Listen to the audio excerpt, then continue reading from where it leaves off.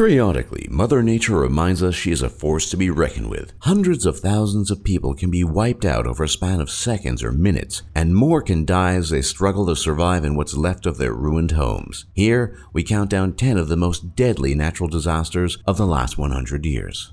The Yellow River in China has been the setting of multiple catastrophic floods, but the ones in 1931 were so destructive that they are generally considered the most deadly natural disaster not only of the last 100 years, but in all of recorded history. The death toll, which may have been as high as 4 million, did not simply come from drowning. People also died of starvation as crops were ruined and major cities suffered catastrophic damage. Others died of cholera and typhus, which resulted from drinking contaminated water.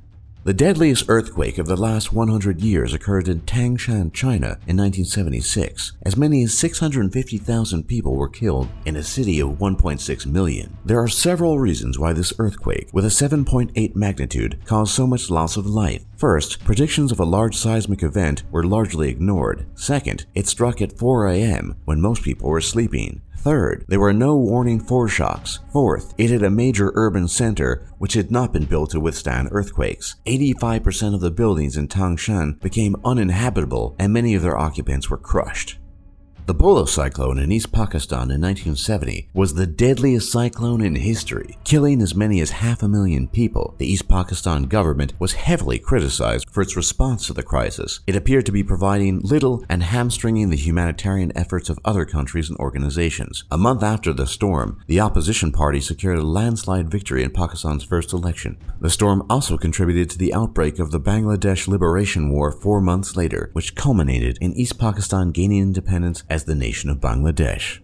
Sometimes known as the Boxing Day tsunami because of the holiday on which it fell, the Indian Ocean tsunami killed at least 230,000 people in 14 countries, with Indonesia being hardest hit. In addition, tens of thousands of people remain missing and almost 2 million people were displaced. The tsunami was triggered by an earthquake off the coast of Indonesia with a magnitude between 9.1 and 9.3, making it one of the most powerful earthquakes ever measured. It triggered waves up to 100 feet in height. The Indian Ocean tsunami is the world's deadliest tsunami. Its fatalities doubled that of the previous record holder, which was triggered by an earthquake in Italy in 1908.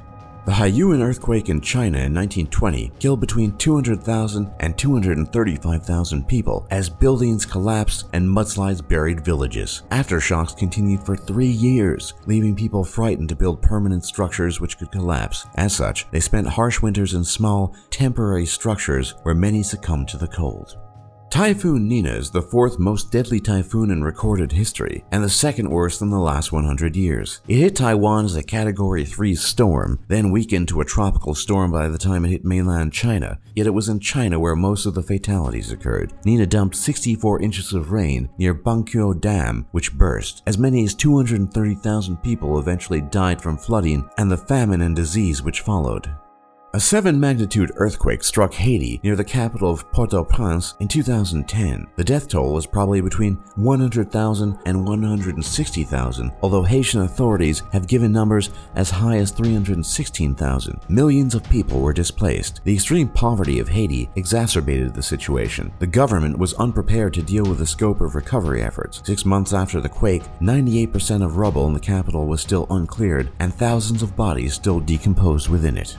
In 1923, an earthquake of 7.9 magnitude struck Japan, causing great damage to many cities, including Tokyo. The Great Kanto earthquake struck at lunchtime when many people were cooking. Those fires went out of control and in some places built into firestorms. A typhoon struck at roughly the same time, further fanning the flames, which took two days to extinguish. The earthquake triggered the mudslide and tsunamis, which further added to the death toll. 148,000 people died and almost 2 million were left homeless.